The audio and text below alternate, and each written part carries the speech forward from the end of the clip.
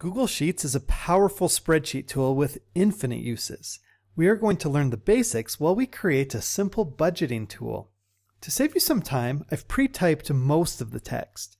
Pause the video and load it from the following link or QR code. Next, I want to select everything and copy it over to a brand new sheet.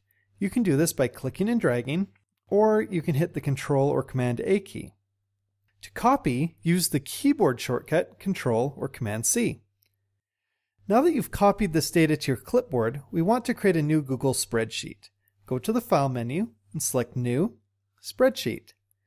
This has given us the new spreadsheet. To paste, first click on the very first cell and use the keyboard shortcut Control V or Command V. Now you have full control over this data. But before we continue, we should name our spreadsheet.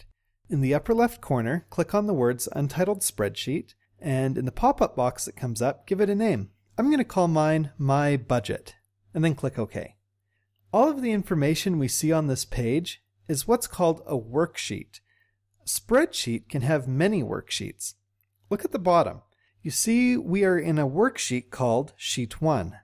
That's kind of a boring name, so click on it and choose Rename and type in something more descriptive. I'm going to call mine Budget.